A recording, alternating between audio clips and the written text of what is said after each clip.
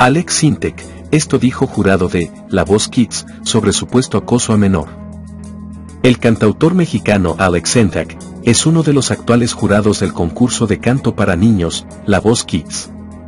Sin embargo, en las redes sociales los internautas han estado haciendo varios comentarios que cuestionan la presencia del mexicano en el reality, puesto que en 2018 el artista fue el protagonista de una presunta denuncia que impuso un joven influenciador contra él.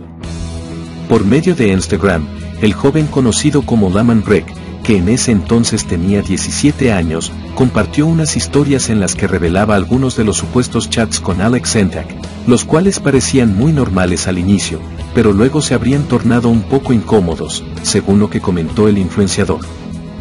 En los pantallazos compartidos, el artista se habría presentado como un cantante mexicano, le dijo que estaría encantado de ser su amigo, que quería visitar Manchester algún día, y le enviaría su perfil de Spotify, para que el influencer pudiera escuchar su música. Según lo compartido en redes sociales, la conversación terminaría con un par de mensajes del mexicano que al parecer decían, estoy bromeando. Diviértase señor Lemen, disfruta la vida. Evite los malos juicios. Aunque la denuncia del joven británico no pasó de las redes sociales, pues en ningún momento se instauró un proceso penal en su contra, para esclarecer las supuestas conversaciones con el cantautor, lo cierto es que tras el estreno de La Voz Kids, varias cuentas en redes sociales empezaron a relucir su pasado, criticando al canal televisivo, por escoger a un artista con supuestos antecedentes de acoso, en un programa dedicado a los niños de Colombia.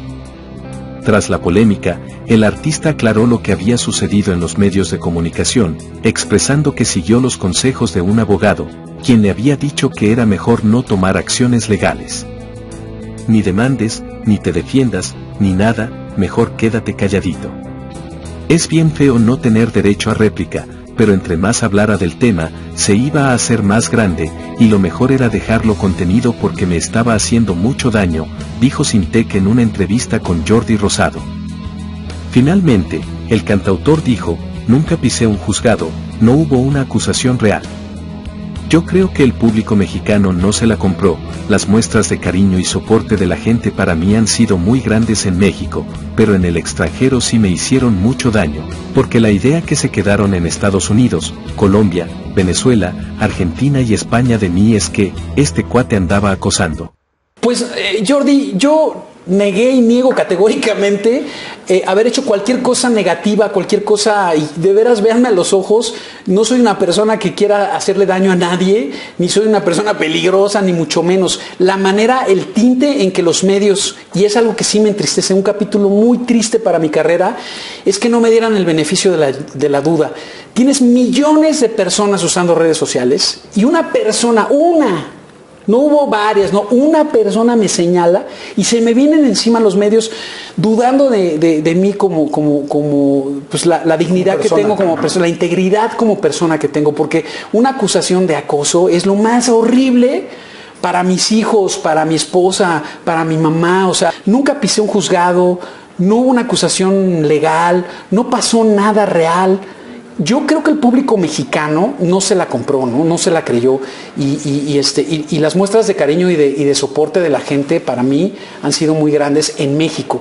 Pero en el extranjero sí me, me hicieron mucho daño. Porque la idea que se quedaron en Estados Unidos, en Colombia, en Venezuela, en Argentina, en España de mí, pues es que sí, este cuate andaba acosando, dijeron que un niño inglés.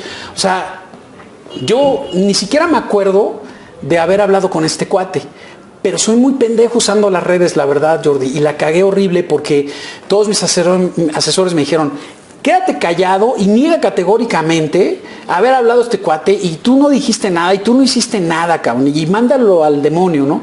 Pero yo inocentemente dije, no, pues voy a hablar con él, ¿cómo es que me quiere hacer daño así? Ah. Y le escribí, oye, yo soy casado, tengo una familia muy bonita, tengo una carrera padrísima, ¿por qué me estás haciendo? Y entonces publica esto y ahí dijeron, sí, ya este güey, o sea, como que ahí se engancharon, eh, eh, sí, Alex Intex sí habló con él, pues, pues sí por pendejo, porque nunca debí.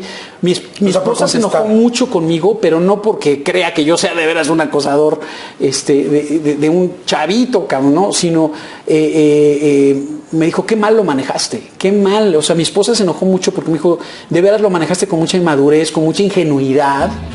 Sin embargo, parece que esa vieja polémica le ha cobrado factura nuevamente, pues en redes su nombre se ha convertido en tendencia, y los usuarios han expresado su descontento con la presencia del cantautor, en las pantallas de la televisión colombiana.